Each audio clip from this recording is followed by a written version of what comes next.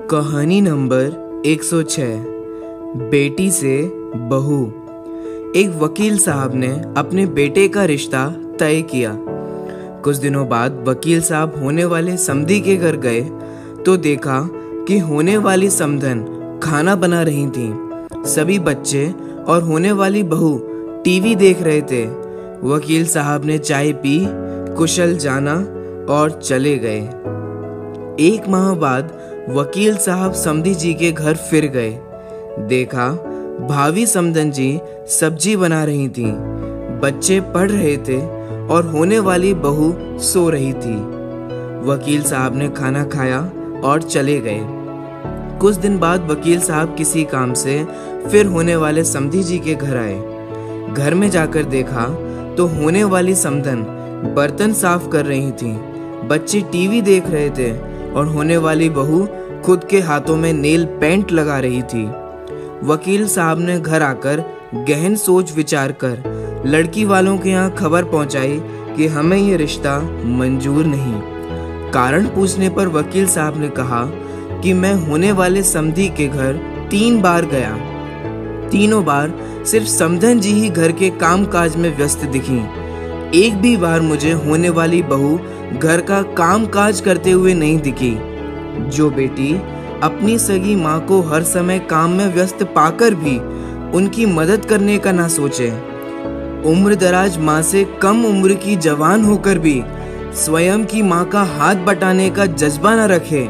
वो किसी और की माँ और किसी अपरिचित परिवार के बारे में क्या सोचेगी?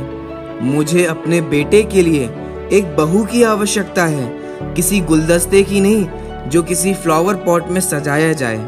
अब अपनी बात पर आते हैं। इसलिए सभी माता पिता को चाहिए कि वे इन छोटी छोटी बातों पर अवश्य ध्यान दें। बेटी कितनी भी प्यारी क्यों ना हो, उससे घर का काम काज अवश्य कराना चाहिए। समय समय पर डांटना भी चाहिए। जिससे ससुराल में ज़्यादा काम पड़ने या डांट पड़ने पर उसके द्वारा गलत करने की कोशिश ना की जाए। हमारे घर बेटी पैदा होती है। हमारी ज़िम्मेदारी बेटी से बहू बनाने की है।